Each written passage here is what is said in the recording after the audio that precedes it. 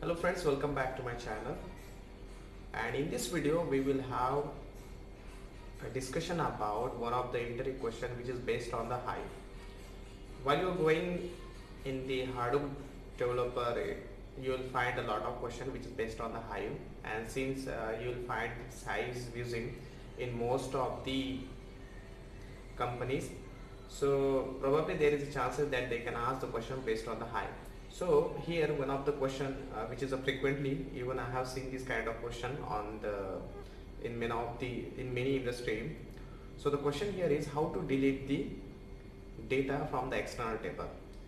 As we know there are two kind of tables in the Hive. The first one is our internal tables and the second one is our external table.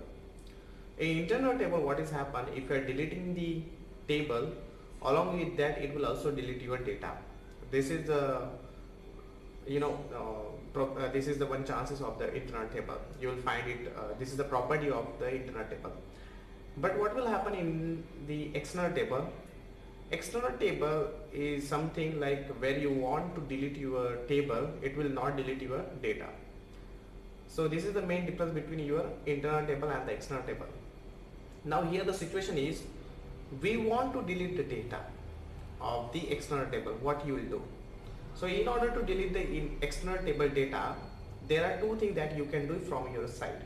The first thing is you can delete the data by using the linux rm command which is a linux rm command by using the uh, rm command itself. You can delete the data which is available on the HDFS and the second thing is if you check the table properties of the external it will be always true so whenever you are creating any external table it will also go with the table properties.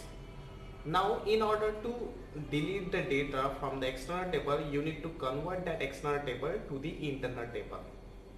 And how to do that? You just need to change the table properties external equals to false. What will happen? By setting up this property it will convert your external table to the internal table and then you can delete the data from your internal table. So this is the answer for your queries and this is how you need to follow the tracks and you can go and you can easily delete the data from your external table. I hope this is pretty much clear. Thank you so much for watching this video and uh, hopefully you will subscribe the channel and you will like this video. Please press the bell icon so that whatever the future videos i'm uploading you'll get the notification. Thank you. Bye, -bye.